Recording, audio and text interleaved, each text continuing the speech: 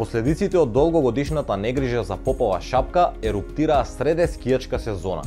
По 17 години барања, геймингот стана официјален спорт во Македонија. Гласајте онлайн за македонскиот представник на годинешната песна на Евровизија. Здраво на сите, ја следите најновата епизода на емисијата Шорткат. Јас сум Гоше и ќе ви ги пренесам најзначајните вести и случувања од изминатава недела. Останете со нас, почнуваме веднаш.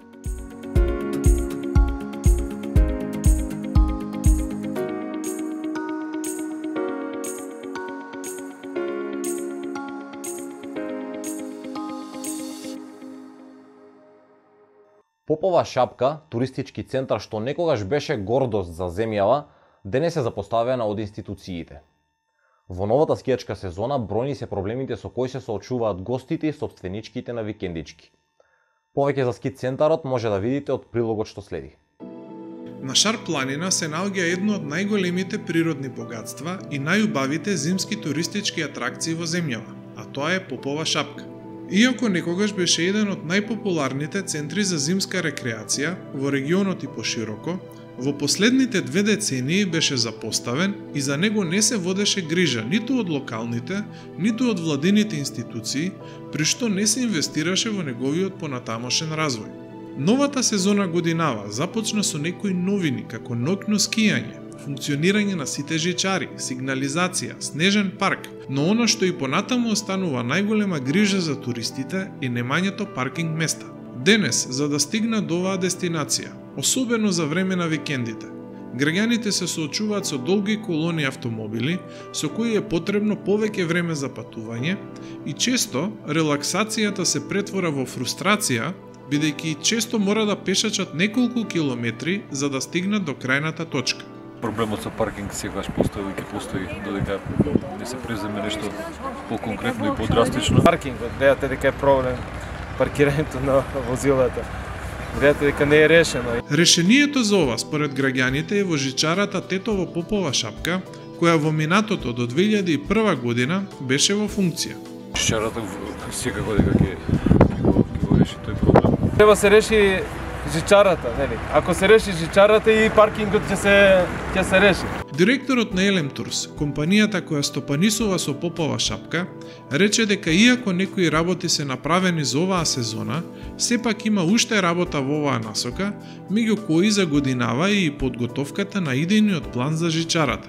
Unë planifikoj që këtë vit të, të pregatis projektin ideor për për të tofë kodra që e njëjta është nën kompetencat tona, mos ti përzim disa punë se shokove të fundit ka edhe zëra tjerë.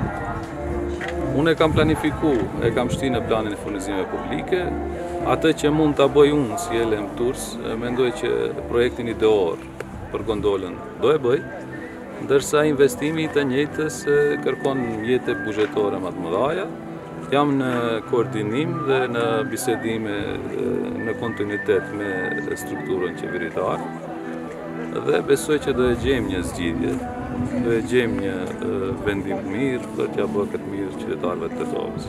Од Обштина Тетово наведува дека се заинтересирани да работат и со други институции кои имаат ингеренции за жичарата и за други прашања околу Попова шапка. Меѓу главните проблеми со кои се соочува центарот се лошата инфраструктура и недостигот на јавно осветлување во викенд на селбата, оштетените патишта, застарениот урбанистички план и неефикасното управување со отпадот.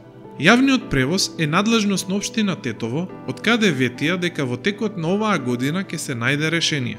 Иако двете страни меѓусебно се повикуваат на соработка, Тоа во пракса не се случува бидејќи во последно време локалната и централната власт се од различни партии.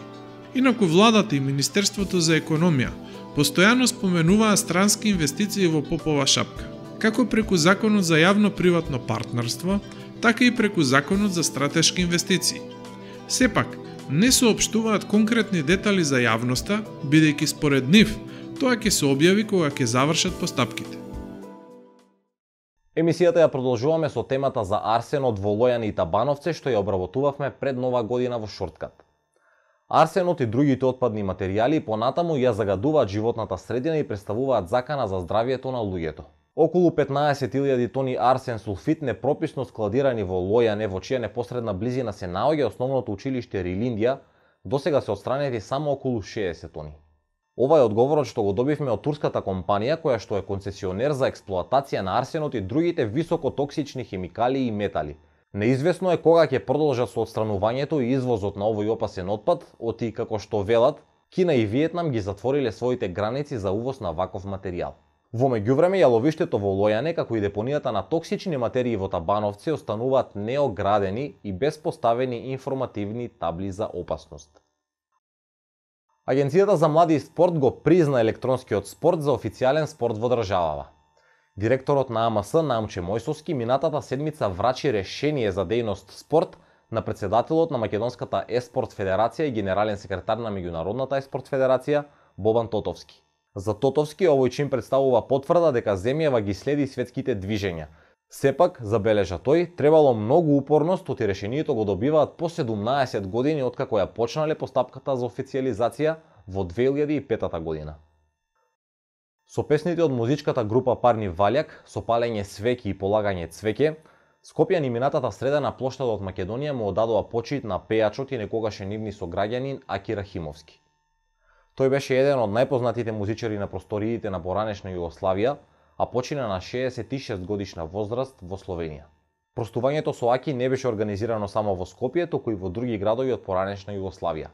Рахимовски беше погребан минатиот четврток во Загреб, каде го мина најголемиот дел од својот приватен и творечки живот. На крајот денешнава емисија ви информираме за изборот на песна што ќе ја представува Северна Македонија на годинешното 66-то издание на Евровизија во Торино, Италија, што ќе се одржи во мај. Во потесниот круг за најдобри песни, од кои една ќе ја представува земјава, влегуваат шест млади талентирани македонски музичари и пеачи. Оваа година Македонската радиотелевизија преку онлайн платформа возможува право на бесплатно гласање отворено за секого, кое ќе трае до утре 4 февруари. Гласањето за еден од шесте фаворити може да се направи на онлайн платформата на МРТ евровизија.mrt.com.mk. Ова е последната вест во 22-та епизода на Shortcut. До следниот четврток следете не на Инстаграм и Фейсбук. и информирајте се преку рубриката за млади ЦТРЛЗ на meta.mk. Чао, чао!